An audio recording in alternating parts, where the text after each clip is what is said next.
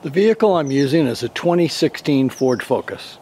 For this example I have confirmed in-car power and an intact electrical system, but maybe I do not have the ignition key or it is a push button start vehicle and the key fob battery is dead. Normally the power from the battery goes through the ignition switch to a fuse that protects the airbag control module or ACM circuit. I have identified the ACM fuse as F86 from the owner's manual. I'm going to use a repowering device to supply power directly to the ACM, bypassing the ignition key. Ultimately, I'm going to plug the 12 volt plug into an accessory outlet in the vehicle. The positive wire is red and has an inline 7.5 amp fuse. The end of the wire has a spade connector which you can see is already connected to a yellow fuse block adapter.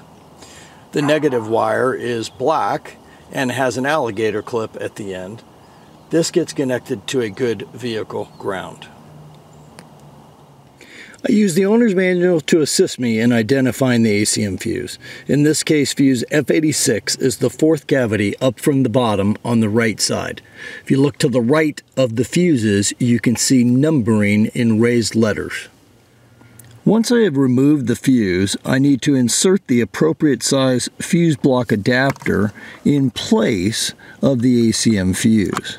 I do have the potential to put power on the incorrect side, which is something that we will discuss later. I need to have the ground wire of the repowering device connected to a good vehicle ground. In this case, I'm going to connect the alligator clip to a metal bolt protruding through the door hinge. At this point, I do not have the repowering device plugged into a source of power. I've already connected the CDR interface to the vehicle using the data link connector or DLC. As you can see, the green light on the CDR interface is illuminated because I have good power in the vehicle. Power at the DLC port has nothing to do with the ignition key. Remember, normally the last step when using the CDR tool would be to apply power or turn on the ignition key, whatever the case may be. So in this case, I have the software ready to go with case comments and I'm ready to collect data. In this case, I'm going to plug the repowering device into an accessory receptacle in the center console, which has power all the time. Then I'm going to click the collect ACM data icon in the software.